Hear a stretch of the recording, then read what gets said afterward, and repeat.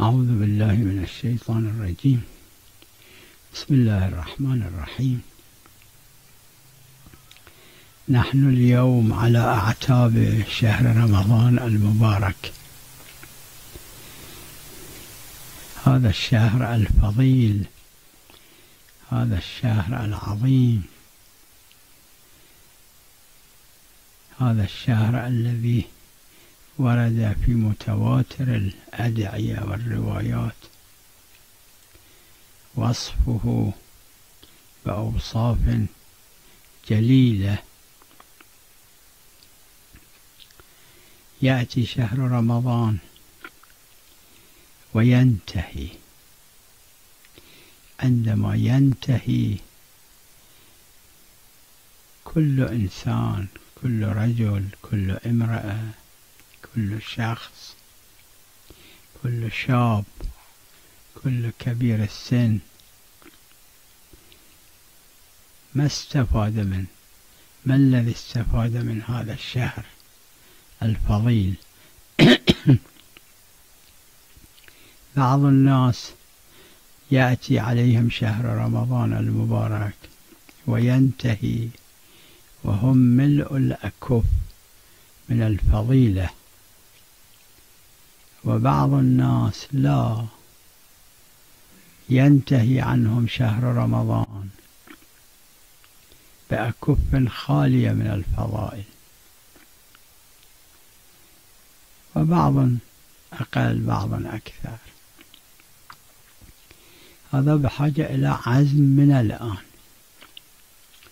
بحاجة إلى إرادة قوية. حتى عندما ينتهي شهر رمضان.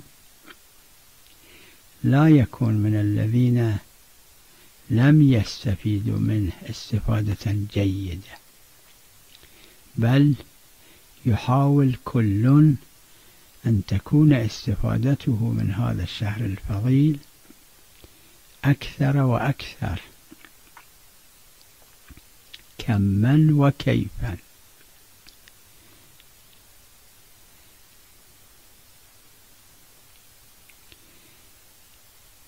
هنا نحن وغيرنا في العالم اليوم مبتلين بهذا الوباء الذي شمل الكل شمل كل البلاد. كيف ينتهي هذا الوباء العام؟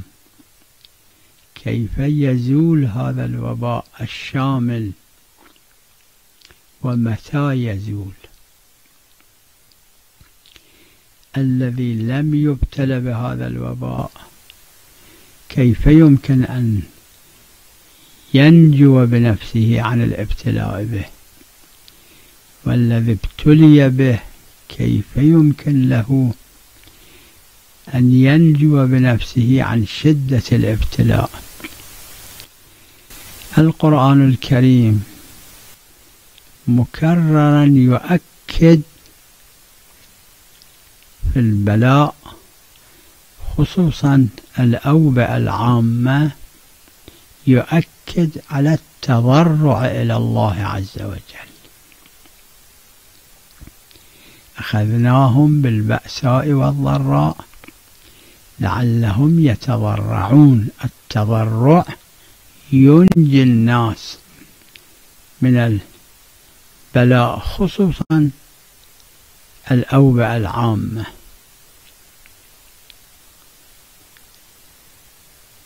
فلولا إذ جاءهم بأسنا تضرعوا. في الأمم السابقة بعض الأمم كانوا يظلمون بعضهم البعض. فينزل الله تعالى عليهم البلاء. المصيبات العامة. منهم كقوم يونس على نبينا وآله وعليه السلام تضرعوا إلى الله فنجاهم الله. أما بعض آخر من الأقوام لم يتضرعوا إلى الله فهلكوا. القرآن الكريم يقول فلولا إذ جاءهم بأسنا تضرعوا. لماذا لم يتضرعوا إلى الله عندما جاء البأس إليهم. هذا الوباء العام بحاجة في زوالها أسرع وأسرع إلى التضرع إلى الله عز وجل. التضرع هو الدعاء والطلب من الله عز وجل بانكسار. بتذلل بخشوع ببكاء سواء في الأسحار عند صلاة الليل أو في غير ذلك. تضرعات فردية للناس في وقت الصلاة في غير وقت الصلاة. وتضرعات اجتماعية عندما يجتمع المؤمنون في مكان مجتمعين يتضرعون إلى الله يدعون الله تعالى بتذلل بخشوع باستكانة ويتوسلون بأهل البيت عليهم الصلاة والسلام. الذين جعلهم الله هم الوسيلة إلى الله عز وجل وابتغوا إليه الوسيلة. يطلبون من المعصومين عليهم الصلاة والسلام أن يشفعوا عند الله تعالى في زوال هذا البلاء العام عن الجميع. بل كما في متواتر الأدلة أن الله عز وجل فضل هؤلاء المعصومين الأربعة عشر رسول الله صلى الله عليه وآله وأمير المؤمنين وفاطمة الزهراء والإمام الحسن والإمام الحسين والأئمة التسعة من ذرية الحسين آخرهم مولانا الإمام المهدي عجل الله تعالى فرجه وصلوات الله عليهم أجمعين. فضل هؤلاء الأئمة ومنحهم القدرة بفضل الله تعالى بإذن الله تعالى أن هم يرفعون البلاء. يتوسل بهم إلى الله عز وجل ويطلب منهم أنهم هم يرفعون البلاء. أسأل الله سبحانه وتعالى أن يوفق الجميع للتضرع إلى الله عز وجل خصوصا في هذا الشهر الفضيل شهر رمضان المبارك. يتضرع إلى الله عز وجل حتى يزول هذا البلاء ببركة محمد وآل محمد صلوات الله عليه وعليهم أجمعين عاجلا وكاملا.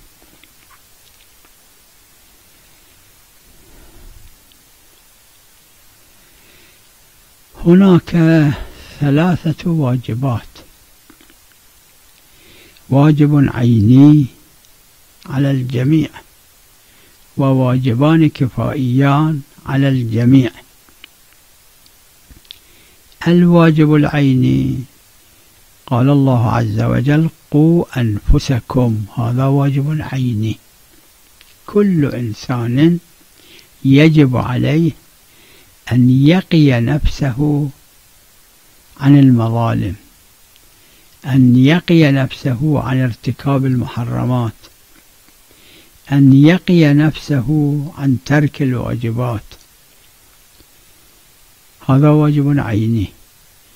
الواجب العيني معناه أنه إذا ألف شخص عملوا بواجبهم لا يرتفع عن الشخص الواحد والألف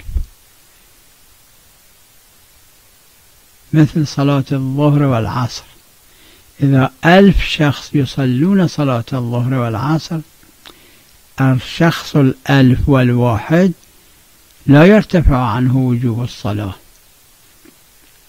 تجب عليه الصلاة هذا واجب عيني. تزكية النفس. توقية النفس عن الرذائل المحرمة عن ترك الواجبات عن السقوط في المحرمات. هذا واجب عيني على الكل. الثاني قوا أنفسكم وأهليكم. توقية الأهل زوجة الشخص أولاده من تحت رعايته. ممن يطلق عليهم عليهم الأهل يجب على هذا الرئيس للأهل هذا المدير للأهل يجب عليه أن يصنع جوا الأهل لا يقعوا في المحرمات. الأهل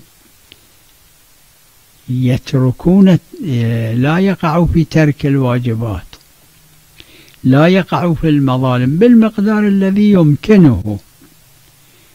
لا يقصر في هذا المجال هذا واجب كفائي.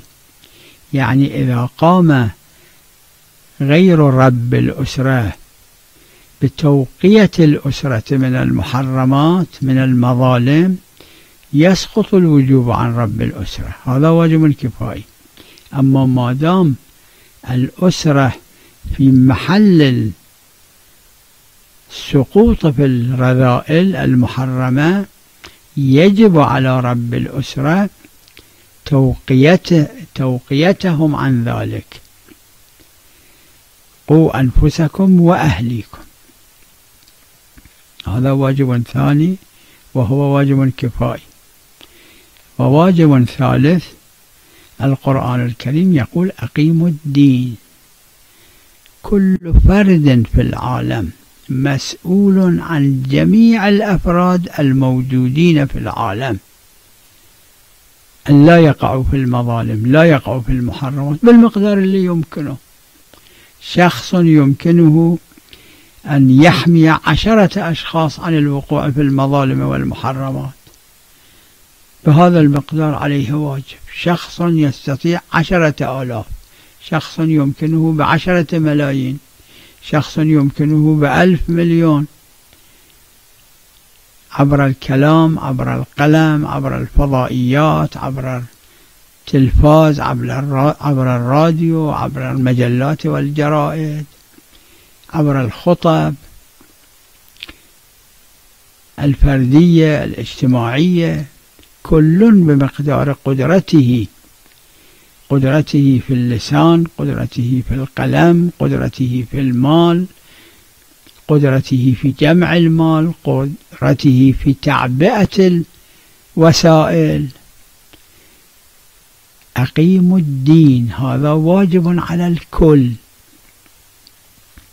الدين يعني مجموعة الفضائل.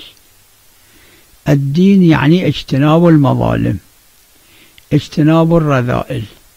حتى الفضاء الفضائل تكون هي الحاكمة على المجتمع. لا مجتمع عائلة واحدة أو مجتمع قرية أو مدينة واحدة أو مجتمع دولة واحدة أو مجتمع إقليم واحد بل كل المجتمعات كل بقدر قدرته القدرة شرط من الشروط العامة لكل التكاليف. أن لا يكون مقصرا إذا كان قادرا أكثر. هذا الواجب الثالث هذا واجب الكفاية. أما هل في العالم اليوم في البلاد الإسلامية في البلاد غير الإسلامية من فيه الكفاية؟ لتجنيب المجتمعات عن المظالم؟ لا. الدنيا مليئة بالمظالم الدنيا مليئة بالفساد والعياذ بالله الدنيا مليئة بالمحرمات. مسؤولية من هذا؟ مسؤولية كل فرد بمقدار قدرته بمقدار إمكاناته. أقيموا الدين الخطاب من الله عز وجل للجميع. أن يهيئوا أجواء حتى يكون الدين يعني الفضيلة يعني الخير يعني عدم آه، حاجة البشر إلى ما يحتاجون ولا يوجد عندهم. هذا يكون قائما لا يكون ساقطا.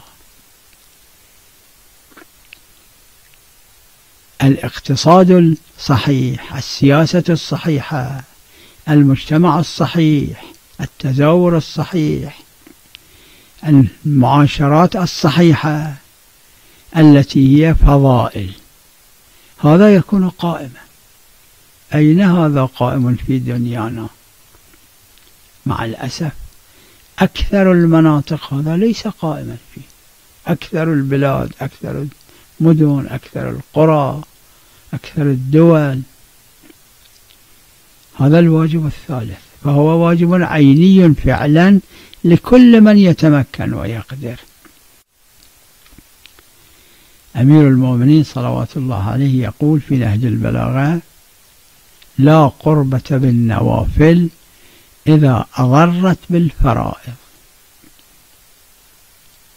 الإنسان في شهر رمضان وغير شهر رمضان إذا يشتغل بنوافل وهذه النوافل توجب له ترك الفرائض. هذه النوافل لا تقرب إلى الله عز وجل لا تكون مقربة.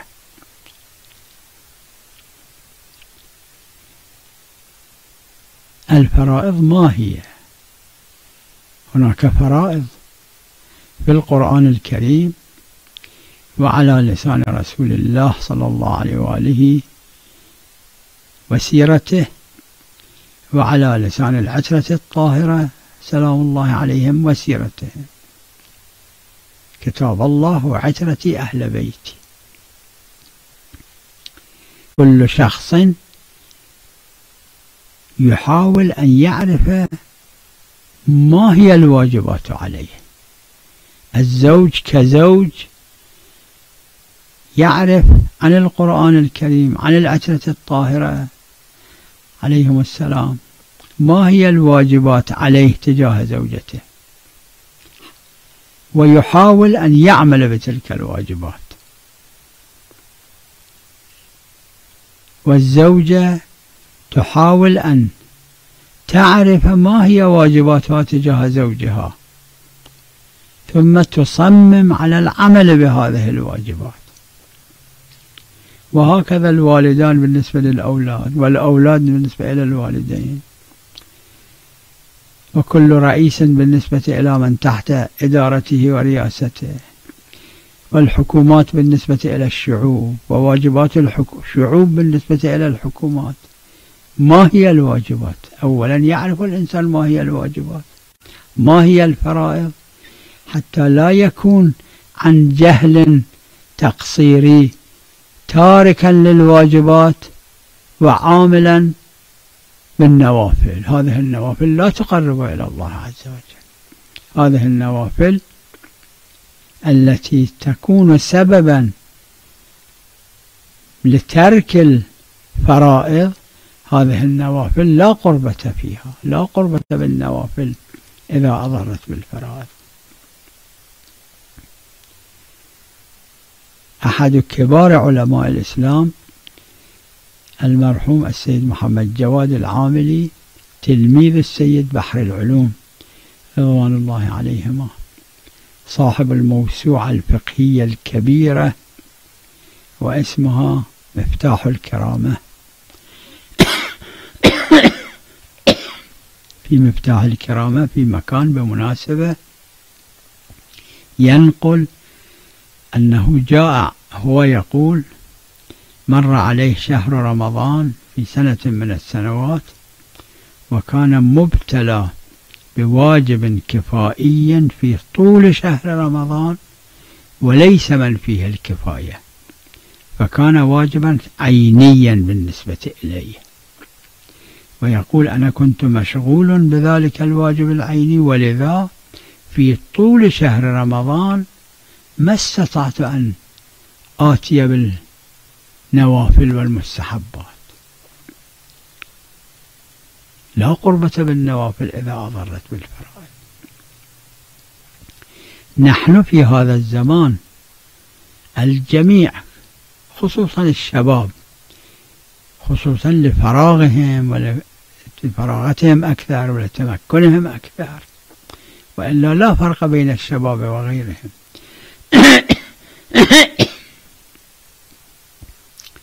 من الواجبات الكفائية والتي ليس لا يوجد من فيه الكفاية وهي فعلا واجبات عينية.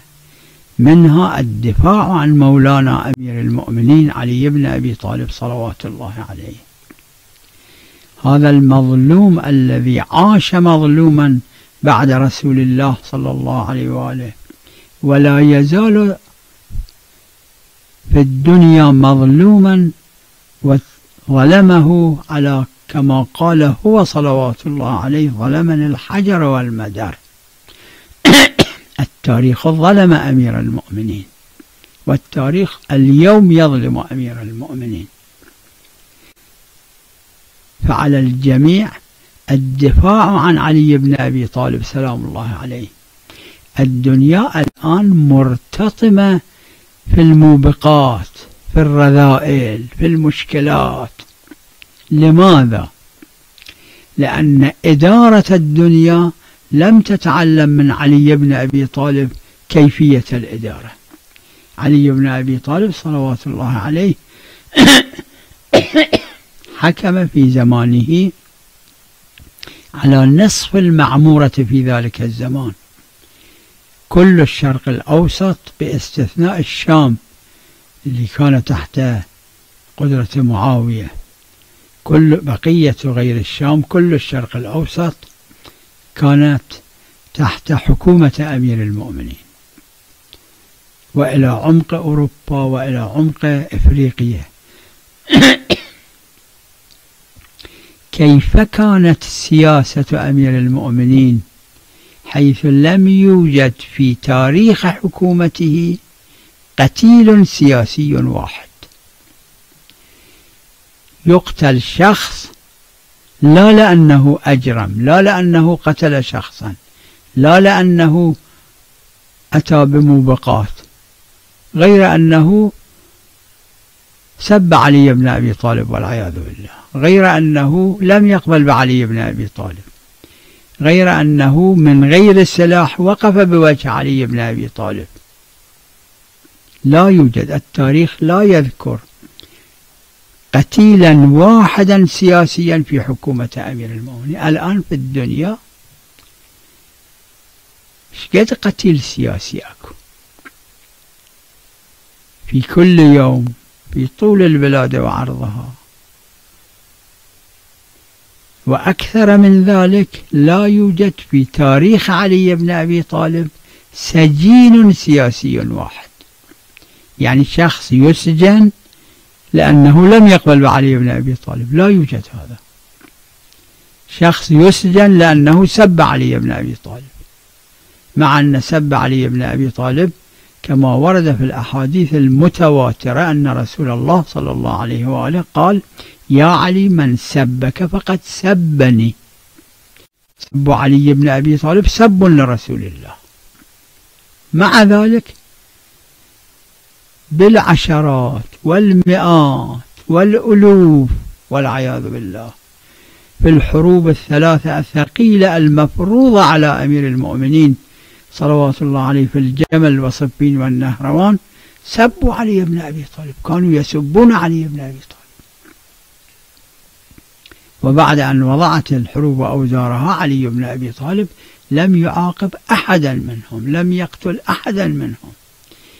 حتى الذين صنعوا الحروب حتى الذين حركوا الناس لحرب أمير المؤمنين.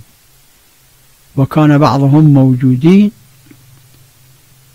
مع ذلك وأمير المؤمنين دخل المكان الذي كانوا متواجدين فيه في بعض الحجر قال عليه السلام أعلم أن هؤلاء هنا ولكن لم يقتل أحدا منهم ولم يسجن أحدا منهم. وين في التاريخ موجود هذا؟ اليوم في التاريخ موجود؟ في تاريخ الماضي موجود إلا فترة حكومة رسول الله صلى الله عليه وآله وأمير المؤمنين تلميذ رسول الله صلى الله عليه وآله وهو نفس رسول الله. كما يصرح القرآن الكريم. وألف سنة.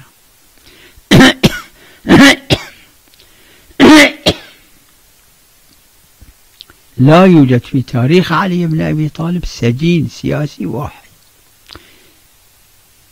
لا يوجد في تاريخ أمير المؤمنين في تاريخ حكومته شخص واحد في طول البلاد وعرضها. في هذه البلاد بلاد المترامية الأطراف. والوسائل ما كانت سريعة. والقحط شيء طبيعي كان يصير في في البلاد. في هذا الزمان قحط إذا اصطناعي لا يكون ما ممكن. حتى إذا في منطقة كبيرة من الأرض لم تمطر السماء وكانت الأراضي جافة جرداء مع ذلك الوسائل الطائرات السيارات الباخرات تجيب الأطعمة آه، فلا يبقى هناك لا يمكن وجود القحط في هذا الزمان. أما في زمان حكومة أمير المؤمنين قبل 1400 سنة ما كان هذا الشيء ممكنا. ولكن مع ذلك لا يوجد في تاريخ علي سلام الله عليه أن هناك في حكومته شخص واحد مات الجوع. أما في حكومة غيره أكو. أبو ذر من الأصحاب من أصحاب رسول الله صلى الله عليه وآله كتبوا في تاريخهم مات الجوع أي اقتصاد سليم سلكه علي بن أبي طالب وكان يأمر الولاة به حتى أنه في طول البلاد التي تحت حكومته نصف المعمورة في ذلك الزمان تقريبا لم ينقل شخص واحد مات جوعا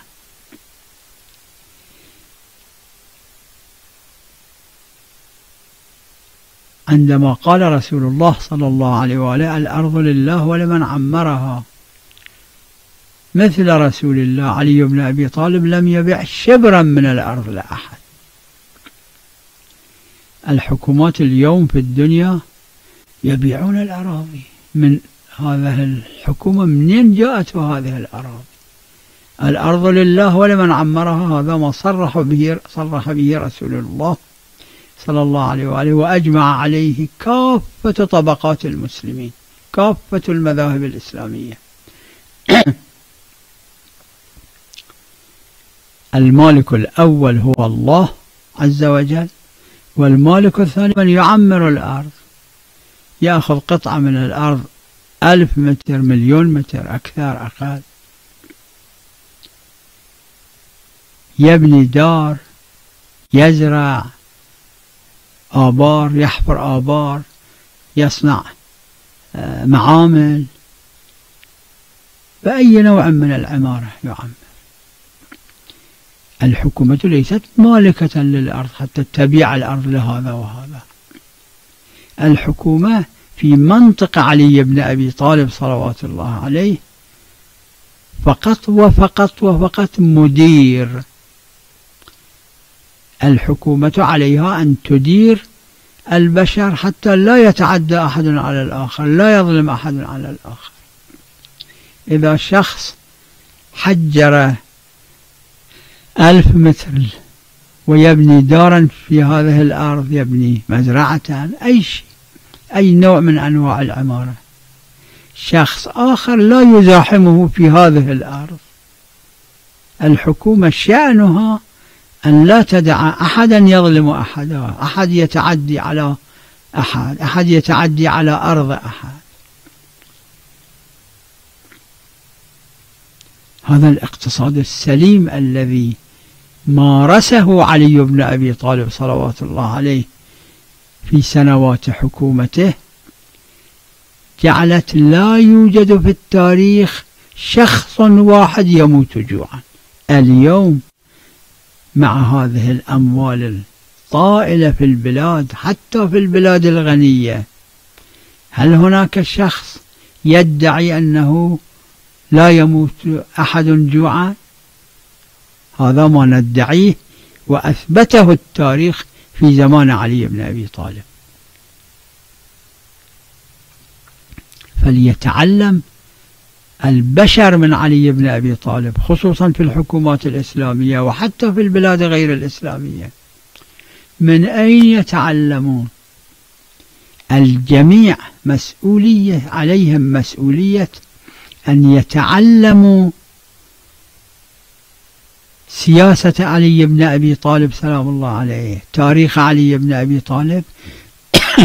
ثم ينشروا ذلك بما يمكنهم إلى العالم لعله في المستقبل يوجد من يعمل بهذه السياسات حتى بمقداره ينجو البشر عن هذه الويلات المختلفة التي يرتطم فيها البشر في كل مكان.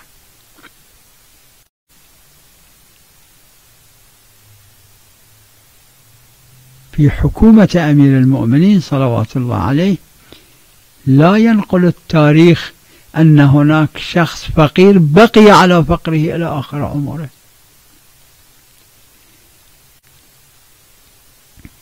نعم كانوا فقراء.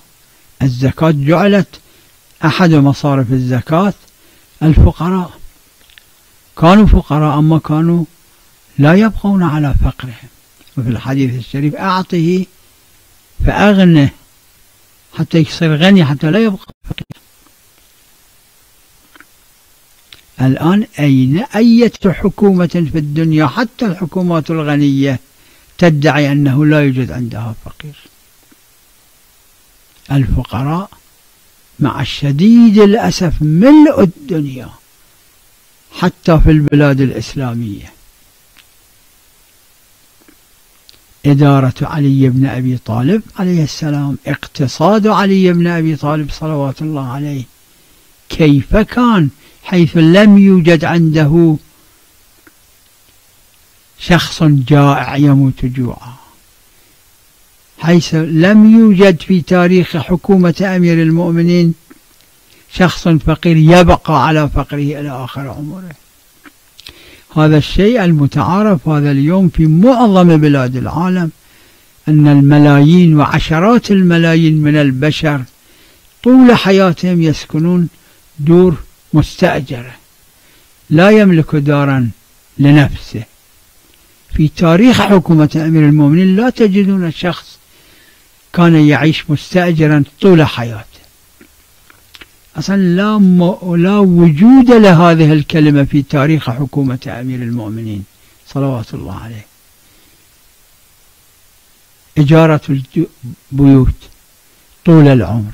نعم الذي يسافر إلى المشاهد المشرفة الذي يسافر للتجارة شيء كم يوم يبقى في مكان كم يوم يستأجر محل مكان. مثل الفنادق اليوم اللي الناس لأيام يستأجرون ويعيشون ويسكنون الفنادق. أما واحد طول حياته لا يستطيع أن يملك دارا يسكنها بمقدار ما يحتاج في تاريخ علي بن أبي طالب لا يوجد. علي بن أبي طالب عاش مظلوما ولا يزال مظلوما وهذا اليوم أيضا مظلوم. ألا يجب الدفاع عن هذا المظلوم؟ ألا يجب معرفة تاريخ هذا المظلوم الذي سياسته أرقى سياسة اقتصاده أرقى اقتصاد؟ معرفة ذلك؟ ألا يجب النشر ذلك؟ حتى بهذا المقدار ينجو البشر عن المشكلات والويلات. التي يعيشها معظم البشر في معظم البلاد في العالم. في أحد البلاد الإسلامية قبل سنوات أنا قرأت في الجريدة الرسمية كان مكتوب أن ثمانين بالمئة من أهل تلك الدولة يعيشون تحت خط الفقر. بلد إسلامي هكذا. لماذا؟ الكل مسؤولون أن يقيموا الدين وهذا مقدمة وجود لإقامة الدين وواجب كفائي من فيه الكفاية لا يوجد فيكون بمقداره كل بمقدار ما يمكنه واجبا عينيا عليه. دراسة سيرة أمير المؤمنين دراسة تاريخ أمير المؤمنين عرض هذه السيرة عبر الوسائل المختلفة. السعي لإقناع هذا وذاك المناقشة في هذا المجال. هذه مقدمات وجود. هذه من الواجبات العينية لأنها كفائية بالأصل ولا يوجد من فيها الكفاية.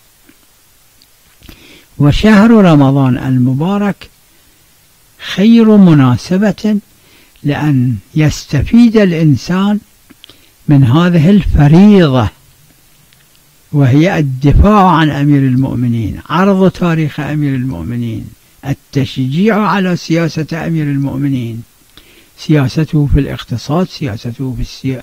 في الأمور السياسية في الأمور الاجتماعية في الأمور العائلية.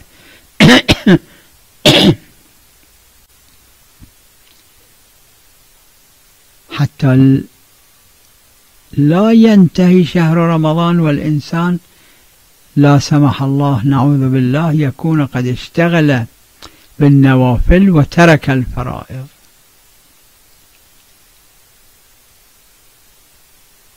الإمام الجواد صلوات الله عليه في دعاء أول ليلة من شهر رمضان يطلب من الله عز وجل وزكيت فيه أعمالنا بالنتيجة المؤمنون المؤمنات يعملون أعمال في شهر رمضان. هذه الأعمال بحاجة إلى أن الله عز وجل يزكيها ينميها. أسأل الله سبحانه وتعالى أن يبعد هذا الوباء العام عن الجميع في الدنيا عاجلا كاملا ببركة أهل البيت عليهم الصلاة والسلام. ويوفق الجميع خصوصا في شهر رمضان لأن لا حتى لا يفرطوا في الواجبات ويشتغلوا بالنوافل بل يضحوا بالنوافل لأجل الفرائض. نعم هذه النوافل خاصة في شهر رمضان ومنها الأدعية المأثورة عن أهل البيت عليهم الصلاة والسلام دعاء أبي حمزة الثمالي دعاء الإفتتاح الأدعية الأخرى هذه قسم منها تكون سببا لتقوى الإنسان. اتقوا الله فاتقوا الله ما استطعتم. هذا المقدار منه واجب عيني. من باب قوا أنفسكم. هذه الأدعية تجعل من الإنسان رجلا متقيا وهذا المقدار من الأدعية من النوافل واجب عينية هذه فرائض. أما الأكثر من ذلك الإنسان لا يكون يضيع الفرائض من أجل النوافل. أسأل الله سبحانه وتعالى وببركة أهل البيت عليهم الصلاة والسلام أن يوفق الجميع لذلك خصوصا في هذا شهر رمضان القادم. وصلى الله على محمد وآله الطاهرين.